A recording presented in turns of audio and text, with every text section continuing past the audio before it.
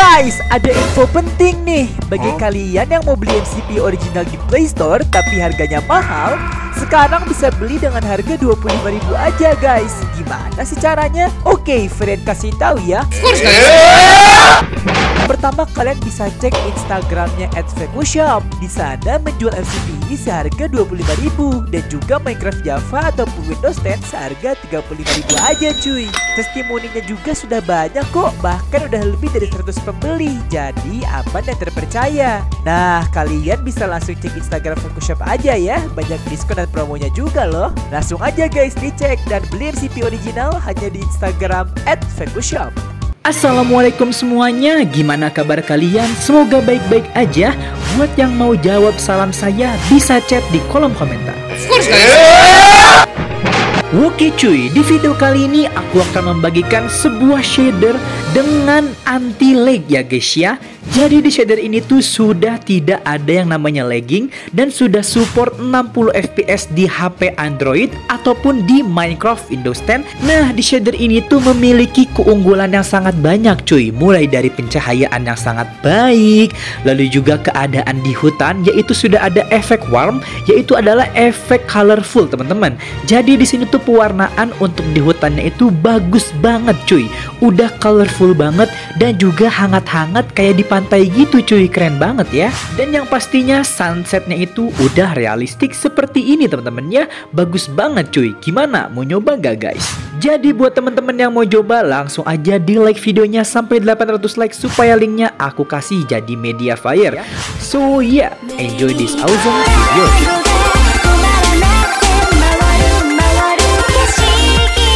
Oke okay guys, jadi nama shadernya itu adalah Fort Legacy. Di sini ada yang versi untuk Android, ada juga versi untuk Windows.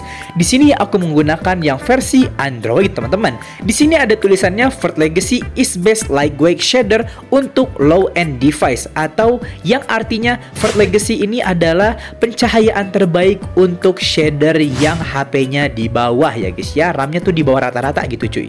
Jadi gak usah banyak basa-basi, langsung aja kita coba shadernya men. Let's go. Oke okay guys, sekarang kita sudah berada di dalam loopnya. Sekarang kita bakal coba aja langsung ganti kameranya dulu menjadi first person cuy. Let's go. Nah teman-teman, sekarang kita sudah berada di dalam shadernya. Jadi pertama-tama yang mau saya showcase dulu yaitu adalah keadaan pada saat di hutan seperti ini coy. Jadi di sini kita bakal coba jalan-jalan dulu ke hutan, lebih tepatnya. Kita bakal coba lihat keadaan di hutannya itu seperti apa. Kalau misalnya agak lag, maafin teman-teman. Di sini biar gak ngelag, kita bakal coba aja settingannya dulu diubah guys ya. Yaitu di sini untuk eh, render chunksnya kita ubah aja ke 6 guys. Nah oke. Okay, segini udah cukup kayaknya ya. Oke okay, kita bakal coba bermain lagi. Jadi teman-teman, di sini tuh untuk keadaan di hutannya itu sudah ada efek warm, yaitu adalah efek kayak semacam ini guys. Kayak semacam ya, warna kuning-kuning gitu cuy, kayak di pantai jadinya ya guys ya. Nah, teman-teman juga di sini bisa lihat aja guys untuk pencahayaannya itu dan juga awannya sudah diubah pastinya cuy. Dan juga di sini ditambahkan efek kabut ataupun efek fogging. Jadi pada saat kalian bermain di Minecraft itu seperti melihat kabut di kejauhan gitu ya guys ya. Jadi menambah kesan RTX atau kesan realistik seperti itu coy. Oke, di sini kita bakal coba jalan-jalan dulu aja guys. Kita bakal coba keliling desanya sambil melihat keindahan dari shader ini guys ya. Kalau misalnya agak patah-patah mohon maaf cuy karena di sini HP-nya saya agak kentang banget coy. Bayangkan ya. Di sini saya menggunakan HP Xiaomi Redmi Note 4 teman-teman seperti itu cuy. Nah, langsung aja di sini kita kan udah lihat sekeliling di hutan, terus juga kita udah melihat keadaan pada saat di perumahannya. Kita bakal coba melihat keadaan pada saat di ladang guys kita bakal coba ke sana ya. Nah, jadi pada saat kita sedang berada di ladang itu menjadi seperti ini guys. Gimana menurut kalian? Apakah untuk pencahayaan ataupun pewarnaan gradingnya itu bagus menurut kalian untuk dari shader ini? Kalian bisa komen di bawah cuy ya. Jadi untuk pewarnaannya itu agak kuning-kuning kayak gini seperti sedang berada di pantai kesannya gitu cuy atau sedang berada di sinematik videografi cuy. Seperti itu ya. Oke, kita kan di sini belum melihat keadaan pencahayaan di siang hari coy. Jadi kita bakal coba masuk ke dalam rumah teman-teman dan kita bakal coba melihat pencahayaannya itu seperti apa ya. Let's go. Nah, di sini kita mau masuk ke rumah dulu guys. Assalamualaikum, Bapak Villager. Nah, inilah dia pencahayaan pada saat di siang hari guys. Menurut kalian gimana pencahayaannya? Apakah terlalu kuning, normal, atau bagus? Kalian bisa komen di bawah aja langsung cuy untuk pencahayaannya. Menurut aku, dari perspektif mata aku ini sangat bagus banget coy ya. Karena itu saya tuh lebih suka dengan shader yang kuningnya tuh bener-bener kuning. Supaya kelihatan menggunakan shader dan berbeda dari Minecraft normal gitu cuy. Dari Minecraft pada umumnya. Supaya kelihatan aja gitu perbedaan Minecraft normal dengan menggunakan Minecraft shader coy. Seperti itu ya. Oke, kita udah lihat kan keadaan untuk pencahayaan di dalam ruangan. Selanjutnya kita bakal coba melihat keadaan pada saat sunset, cuy. Let's go. Nah, jadi inilah dia pada saat sunsetnya matahari mulai terbenam dan juga di sini tuh udah ada efek kayak semacam siluet gitu ataupun efek kayak semacam ya efek pencahayaan gitu, cuy. Jadi kayak ada garis di tengah, jadi mataharinya juga terbenam kayak gini dan ya pastinya bakalan realistik seperti ini guys. Jadi gimana menurut kalian? Apakah bagus untuk shadernya pada saat di keadaan sunset? Kalian bisa nilai sendiri, kalian bisa komen dan kalian bisa memprediksi apakah shader ini bakalan terkenal atau enggak. Kalian bisa komen aja di bawah langsung cuy. Oke, jadi mataharinya sudah mulai terbenam. Sekarang kita berada di keadaan malam harinya. Nah, kita lihat ya. Kita bakal coba langsung ubah aja ke mode midnight. Jadi di sini kita ubah dulu aja seperti ini dan kita ubah menjadi mode midnightnya yaitu keadaan di malam harinya. Nah inilah dia untuk awannya. By the way ini awannya itu udah kayak semacam di RTX ya kayak kotak-kotak gitu cuy. Tapi ini ini tuh tidak ini guys. Tidak apa namanya ya? Ini tuh bukan cube map guys ya. Jadi gak nyampe ke ujung gitu awannya. Jadi kayak sepatah-patah doang coy oke guys kita sambil ngelihat pencahayaan pada saat di malam hari ya guys ya Di sinilah dia untuk keadaan di keadaan malam hari menggunakan pencahayaan torch dan juga beberapa item seperti lantern ataupun ya pokoknya kayak gini guys. Ini ada ayam guys, ada ayam nyangkut coy. Jadi keadaan menurut, aku sih ya, kalau misalnya keadaan malam hari menggunakan pencahayaan kayak gitu jadi jelas banget guys. Jadi tuh terang gitu coy. Jadi kita tuh mau ngelihat ke mana-mana tuh jelas cuy. Nih kayak gini nih. Jadi contohnya ya, tuh. Gimana menurut kalian? Bagus gak kalau misalnya pencahayaannya kayak gini? Pasti bagus kan? Pasti jelas, pasti keren gitu dilihatnya dan juga enak gitu ya guys ya. Pastinya itu bakalan jadi seperti itu cuy.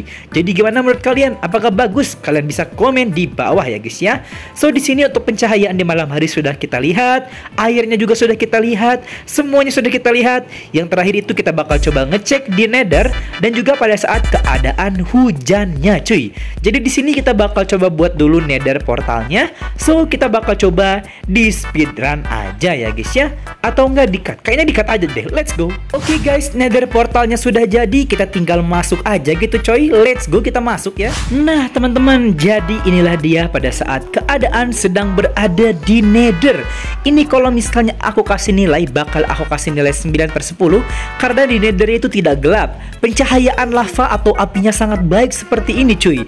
Ini adalah best light awakening ever guys guys ya.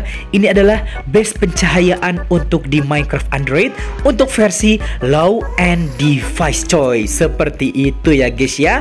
So gimana menurut kalian guys? Apakah bagus untuk di dalam nethernya? Sekali lagi kita bisa diskusi bersama di komentar YouTube coy. Oke coy. Jadi menurut aku ini udah bagus banget coy, pencahayaannya udah jelas dan juga terang sekali. Jadi kalau misalnya kita mau mining atau mau mencari beberapa item yang yang berada di Nether, kita bisa dengan mudah gitu kan mendapatkan item karena pencahayaannya itu jelas sekali gitu guys ya. Oke, selanjutnya kita bakal coba melihat keadaan pada saat hujannya. Let's go. Oke guys, sekarang kan sudah siang hari. Saatnya kita ubah menjadi mode pada saat hujan. Tapi sebentar dulu guys, kita bakal coba masuk dulu ke dalam desanya supaya lebih jelas gitu teman-teman ya. By the way, di sini aku menggunakan versi 1.20. Aku belinya itu di Instagram @vekushop. Jadi buat yang mau beli, langsung aja beli di Instagram @vekushop ya. Oke, kita bakal coba ubah ke rain dulu seperti ini guys. Dan kita bakal coba lihat seberapa realistik untuk keadaan pada saat hujannya ya guys ya. Yaitu adalah Wither Rain. Let's go, Rainy Wither. Nah, inilah dia nih pada saat keadaan hujannya coy. Efek kabut mulai lebih jelas dan juga beberapa efek air dan partikel dari airnya itu diubah menjadi seperti ini guys ya. Lebih ke pixel lab gitu coy. Kayak ada pixel-pixel air gitu cuy. Berapa kayak semacam memantul di tanah gitu ya guys ya. Dan juga kabutnya semakin jelas apalagi ditambah dengan pencahayaan orange yang sangat terang tuh jadi lebih aesthetic shader guys ya. Ini sejauh ini ini shader yang terbaik yang pernah aku coba untuk low end device cuy. So jadi buat teman-teman yang mau nyoba langsung aja linknya bakal aku taruh di deskripsi guys ya. Terima kasih buat teman-teman yang udah nonton sampai saat ini. Jangan lupa di like videonya dan juga di subscribe channel ini. Untuk cara pemasangannya ada di deskripsi dan untuk cara download shadernya juga ada di deskripsi. Jangan lupa kalian bisa support si konten kreator shadernya ya guys ya. Nanti linknya bakal aku taruh di deskripsi. Terima kasih buat teman-teman. Salam ekshormat and goodbye cuy dan bye bye guys. Bye bye. Nah, gimana sih Bang? Cara downloadnya Bang? Pertama-tama kalian tonton dulu video videonya itu sampai akhir guys. Kalian tonton sampai akhir ya guys ya. Supaya kalian gak bingung Nah setelah itu kalian bisa like videonya setelah kalian like videonya, kalian tinggal buka aja deskripsi cuy. Nah, di sini tuh ada dua link. Yang pertama go paid for link dan yang kedua itu link alternatif, yaitu cara pedi. Nah, yang di sini saya kasih tahu yang pertama dulu. Pertama untuk go paid for linknya, kalian tinggal pencet aja seperti ini cuy. Di sini kalian tinggal tunggu aja sebentar. Nah, lalu di sini kalian tinggal pencet aja I'm not a robot. Di sini kalian pencet I'm not a robot. Lalu di sini kalian tinggal scroll ke bawah, scroll ke atas, scroll ke bawah lagi, scroll ke atas lagi. Nah, nanti di sini ada tulisannya sama yang namanya itu open, teman-teman ya. Nah, ini dia opennya ya, guys ya, bukan open yang di sini, tapi open yang kedua, cuy. Kalian tinggal pencet aja open. Dan di sini kalian bisa tunggu aja sampai ada tulisannya unlock unlock download link here. Kalian tinggal pencet seperti ini dan otomatis kalian sudah masuk ke dalam link page for link. Lalu kalian scroll aja sampai ke bawah dan di sini kalian bisa pencet klik here to continue teman-teman. Kalau misalnya ada iklan seperti ini, kalian tinggal kembali aja ke belakang dan kalian tinggal balik lagi aja di sini dan tunggu linknya sampai beres cuy. Seperti itu aja kok caranya, gampang banget. Nanti kalian tinggal pencet lagi aja di sini yang itu adalah get link lagi cuy. Kalau misalnya nanti ada iklan, kalian tinggal close lagi aja iklannya dan pencet lagi aja sampai di sini beres teman-teman ya. Dan di sini kalian pencet lagi aja get link cuy ya sampai beres teman-teman ya. Dan yap, akhirnya beres deh. Sangat gampang sekali kan? Nah, selanjutnya di sini yang cara kedua cuy ya. Di sini cara yang kedua itu adalah kalian tinggal pencet cara pedi aja langsung link yang alternatifnya. Terus kalian tinggal tunggu aja di sini selama 8 detik Terus kalian pencet aja saya bukan robot dan di sini kalian tinggal tunggu lagi aja sampai selesai cuy. Nah, klik here to continue, kembali lagi. Terus di sini kalian tinggal tunggu lagi aja sampai yang tulisannya your link uh, is almost ready to beres. Lalu kalian tinggal pencet get link aja dan kalian kembali lagi otomatis sudah ke media fire. Seperti itu aja caranya, sangat gampang sekali. So, kalian bisa ikutin caranya ya.